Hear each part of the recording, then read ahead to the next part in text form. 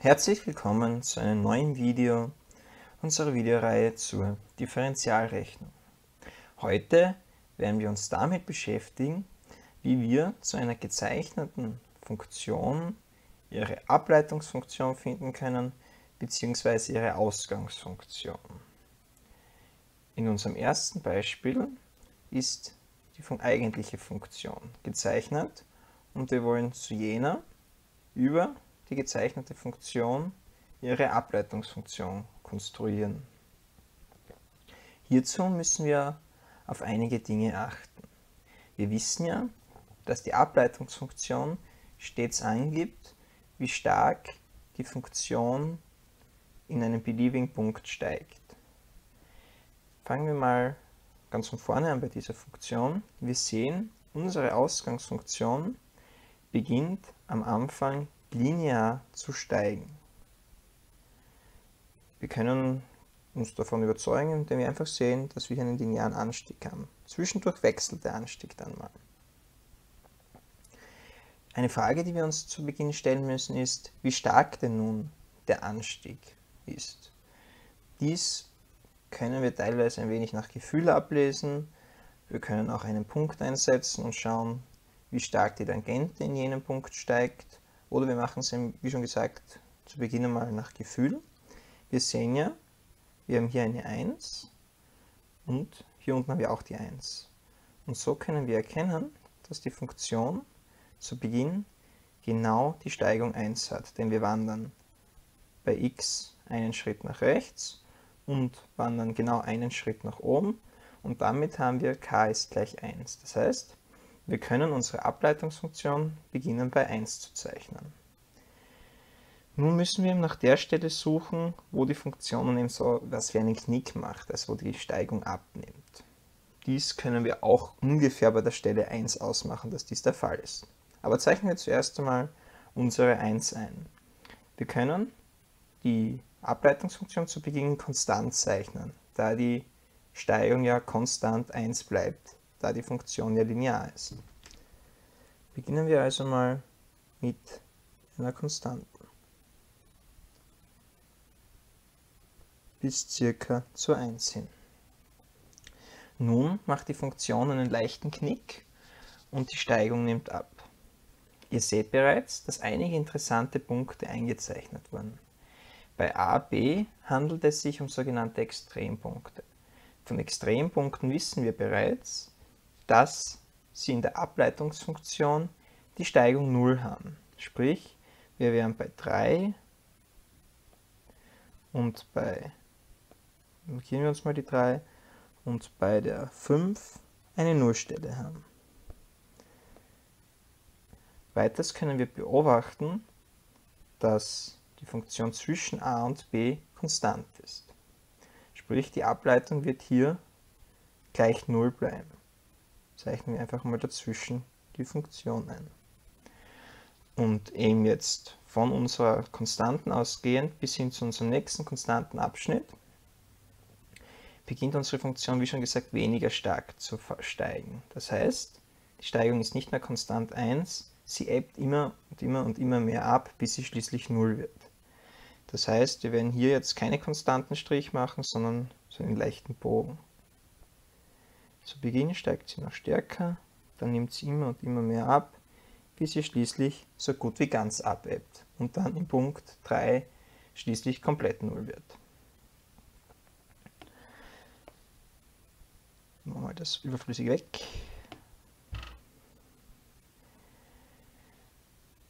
Nun können wir weiterschauen. Ein nächster sehr interessanter Punkt ist für uns der Punkt W. Beim Punkt W handelt es sich um einen sogenannten Wendepunkt. Wir wissen bereits, dass ein Wendepunkt ein Extremer in unserer Ableitungsfunktion ist, da im Wendepunkt die Steigung bzw. der Abfall der Funktion am stärksten ist. Also haben wir bei W einen sogenannten Extrempunkt. Die Frage, was wir uns als nächstes stellen müssen, ist, naja, wie stark fällt denn nun unsere Funktion bei W? Das heißt, wo liegt denn unser extremer negativen Bereich von y? Wir können eben auch hier jetzt eben eine Tangente einzeichnen und dann ablesen, wie stark diese fällt. In unserem Fall wäre dies circa 0,8. Also ganz genau kann man das ja sowieso nie wirklich feststellen. Es soll ja nur eine Skizzierung sein. Sprich also bei W, das wir das auch ungefähr erwischen, sind wir bei 0,8. Wir markieren uns das mit einem Punkt. Beziehungsweise minus 0,8, um eigentlich genau zu sein. Auch hier können wir beobachten, dass die Funktion zu Beginn etwas leichter fällt und dann immer stärker fällt zum W hin. Deshalb werden wir auch hier einen Bogen haben zu Beginn, der dann zu unserem Extremum hin immer stärker fallen wird, beziehungsweise im Extremum dann selbst natürlich abnehmen wird, weil wir auch wieder nach oben müssen.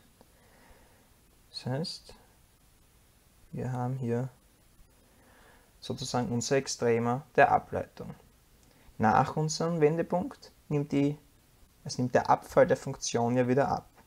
Deshalb wandern wir dann, sobald wir zu unserem nächsten Extremer kommen, zu unserem Cäsar, wieder nach oben, Richtung 0. Also schlagen wir wieder einen Bogen ein, markieren uns mal unser C, welches circa bei 7,5 liegt. Bisschen daneben vielleicht, markieren wir uns auch diesen Punkt und schießen sozusagen dann wieder nach oben. Ich zeichne jetzt einfach mal von oben weg und wir können eben beobachten, dass wir, umso weiter wir nach oben kommen, immer weniger stark fallen, bis schließlich der Fall der Funktion abnimmt.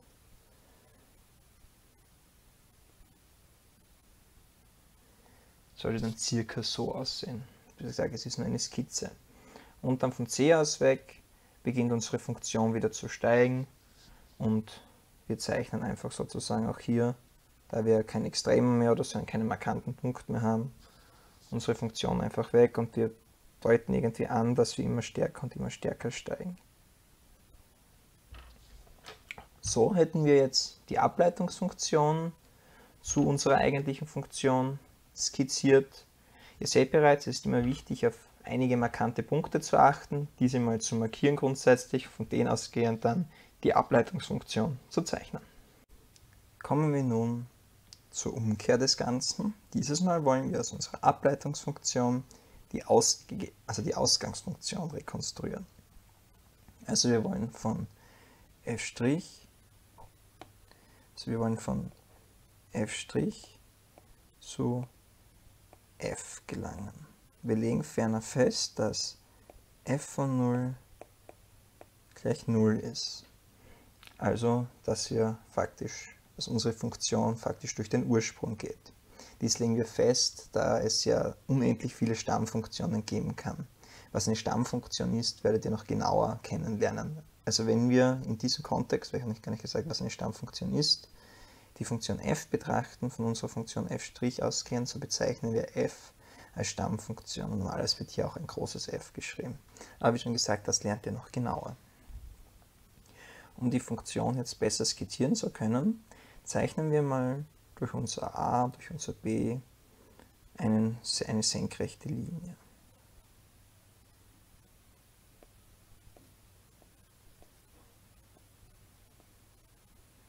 Und auch nach unten, da wir noch nicht wissen, ob es sich um einen Hoch- oder einen Tiefpunkt handelt. Das gleiche bei b. Auch hier haben wir ein Extremum.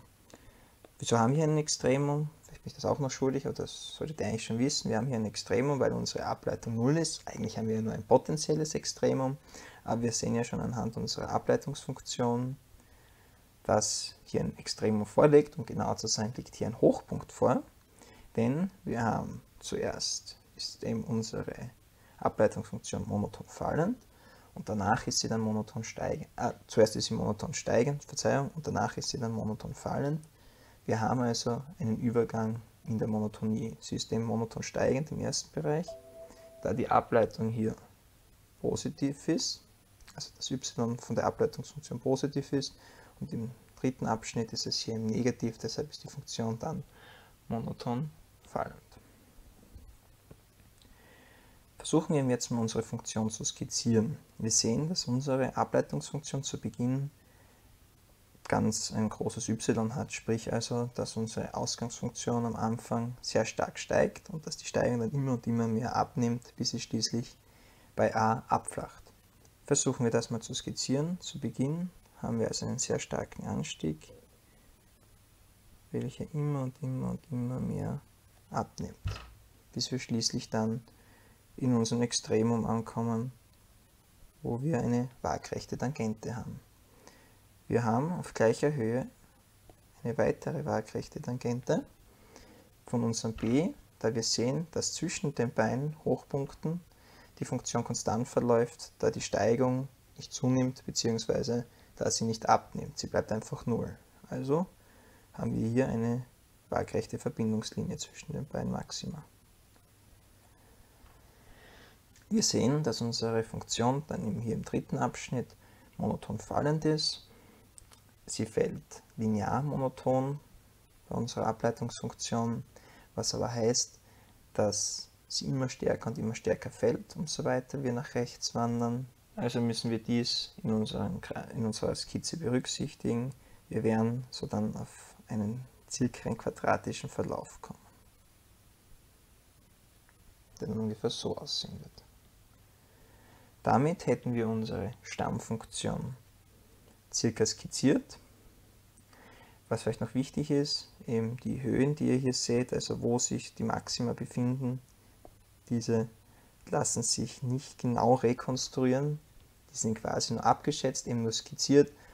Man könnte natürlich mit dem Computer sie genauer berechnen, aber auf das kommt es hier in unserem Kontext nicht an. Es kommt wirklich nur darauf an, dass ihr in der Lage seid, eben eine Stammfunktion oder eben wie oben die Ableitungsfunktion ungefähr zu skizzieren. Auch bei der Ableitungsfunktion sei vielleicht erwähnt, dass eben auch nicht ganz so wichtig ist, auf welcher Höhe sie sich nun, beziehungsweise auf, bei welchem y-Wert sich nun die Extremer dieser befinden. Es kommt wirklich mehr darauf an, dass ihr eine Skizze konstruieren könnt. Damit wären wir am Ende dieses Kapitels angelangt, also am Ende des Beispiels und am Ende des Kapitels damit. Ich hoffe wie immer, dass es für euch lehrreich war und dass wir uns im nächsten Video wiederhören. Bis dann.